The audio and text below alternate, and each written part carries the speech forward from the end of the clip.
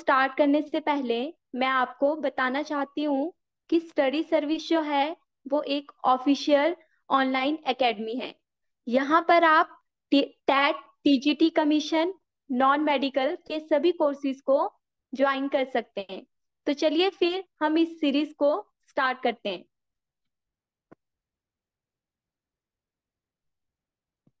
यहाँ पे जो है फ़र्स्ट क्वेश्चन जो है हमारे पास एमसीक्यू है।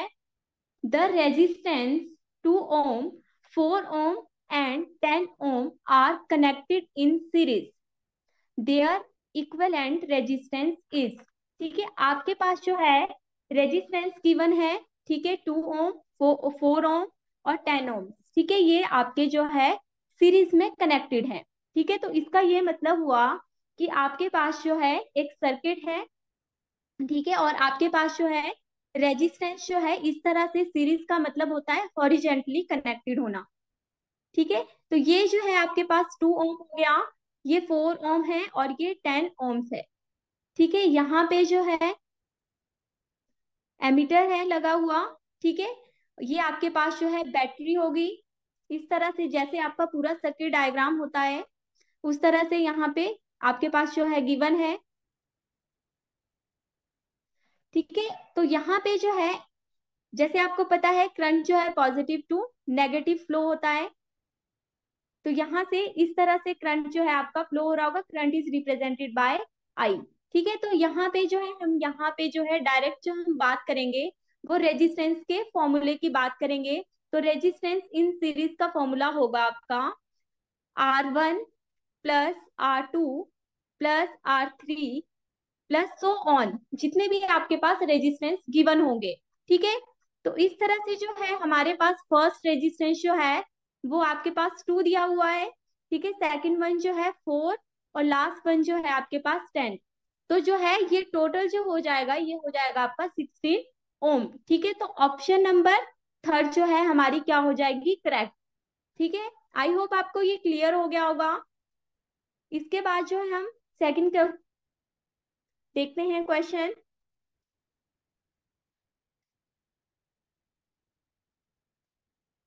है साउंड वेव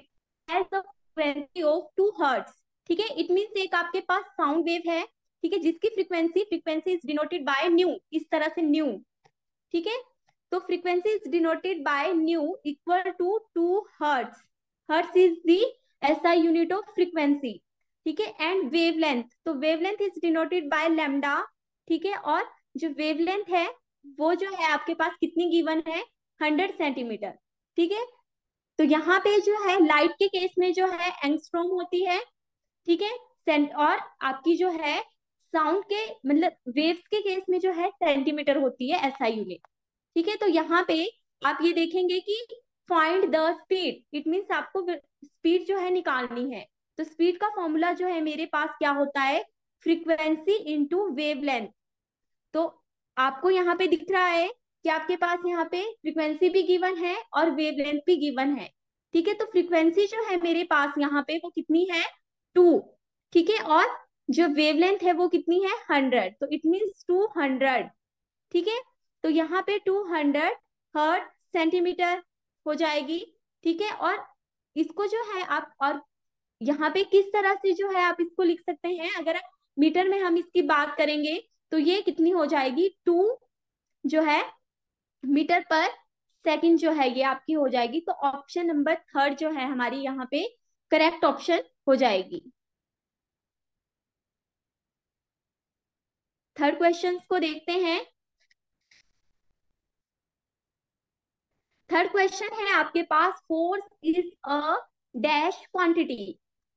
कि फोर्स जो है आपके पास वो कौन सी क्वांटिटी होती है? तो फोर्स की अगर हम बात करें तो फोर्स जो है हमारे पास ऑप्शन नंबर सेकंड जो है वो करेक्ट हो जाएगी वेक्टर इसको देखते हैं कि कैसे होती है। फोर्स की अगर बात करें फोर्स का फॉर्मूला होता है मास इंटू एक्सेलरेशन मास की ऐसा यूनिट होती है केजी ठीक है?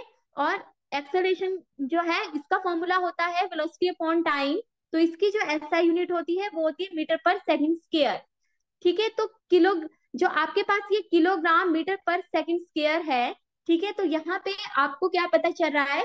एक्सेलरेशन में आपके पास क्या आ रहा है? वेलोसिटी ठीक है? तो वेलोसिटी जो है, वो वेलोसिटी जो है एक, वो भी क्या है? वेक्टर क्वांटिटी है, ठीक है? और एक्सेलरेशन भी इसमें क्या है? वेक्टर क्वांटिटी है. इसके पास जो है, दोनों चीज़ें हैं वेक्टर क्वांटिटी ऐसी क्वांटिटीज होती है जिनके पास जो है बोथ है मैग्नीट्यूड और डायरेक्शन ठीक है? तो आपके पास जो है, यहाँ पे एक्सेलरेशन में जो है डायरेक्शन भी होती है और मैग्नीट्यूड भी होता है। दैट इज़ वाई जो फोर्स है, वो आपकी क्या हो जाएगी? एक वेक्टर क्वांटिटी तो ऑप्शन नंबर टू जो है, वो आपका करेक्ट ऑप्शन हो जाएगा। नेक्स्ट क्वेश्चन की तरफ़ मूव करते हैं। आई होप आपको इतने क्वेश्चन होंगे। फोर्थ क्वेश्चन जो है हमारे पास the angle between two equal vector ठीक है? कि दो इक्वल वेक्टर के बीच में जो एंगल क्रिएट होता है ये आपके पास वेक्टर है ठीक है? ये ए वेक्टर हो गया ये बी वेक्टर हो गया। ये इक्वल वेक्टर है। इस तरह से भी कर, बता सकते हैं आपके जो ये पैरेलल होते हैं ठीक है? तो कोई भी टू वेक्टर है ठीक है? तो ये टू इक्वल वेक्टर है। तो इसका क्या मतलब है कि इसका जो एंगल होगा वो कितना होगा? ऑप्शन है आपके पास। ठीक है? तो ऑप्शन है फ़र्स्ट वन है सेकंड इन्फिनाइट होगा या इंफिनिटी होगा, ठीक है? और थर्ड ऑप्शन है ज़ीरो और फोर्थ वन है नन ऑफ़ दीज तो यहाँ पे जो ऑप्शन नंबर थर्ड है, वो करेक्ट हो जाएगा। क्यों? क्योंकि जो एंगल होता है बिटवीन टू वेक्टर्स वो लाई करता है सेम प्लेन पे, ठीक है? मतलब सेम लाइन पे क्या करता है? लाई करता है फ़र्स्ट ऑफ़ ऑल और ये जो है आपका directed in the same direction और अगर इसकी डायरेक्शन की बात करें तो वो भी क्या होगी? सेम होगी और सेम ही इसकी क्या हो, क्या है आपकी? लेंथ है, क्योंकि यहाँ पे लिखा हुआ है इक्वल दैट इज़ वाई जो है, आपका जो है, इसके बीच में जो एंगल होगा, वो कितना होगा? ज़ीरो फिफ्थ क्वेश्चन देखते हैं. The distinctive colour of eye is due to ठीक है, जो हमारी आईज का कलर होता है, आपने देखा होगा कि हमारी आईज में जो है डिफरेंट डिफरेंट कलर्स होते हैं, ठीक है? किसी की आईज का कलर ब्लू होता है, किसी की आईज का कलर ग्रे होता है और किसी की आईज का कलर ब्लैक होता है। तो मैक्सिमम जो है ब्लैक कलर जो है देखने को मिलता है आईज का कलर ठीक है?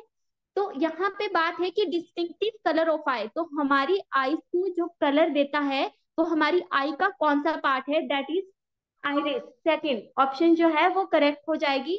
बात करते हैं आइरिस क्या होता है? तो आइरिश है, एक कलर ड्रिंक है, जो हमारी आईज में प्यूपिल होता है, उसके अराउंड होता है और ये हमारी आईज को जो है कलर देता है इंडिविजुअली कलरिंग इट मीन हर अलग अलग पर्सन को जो है अलग अलग आई कलर जो है ये देता है, ठीक है? The iris colour can be various shade ठीक है? डिफरेंट टाइप्स की शेड्स होती है लाइक जो है ब्लू ब्राउन ग्रे ठीक है, इस तरह की डिफरेंट डिफरेंट शेडिड होती है।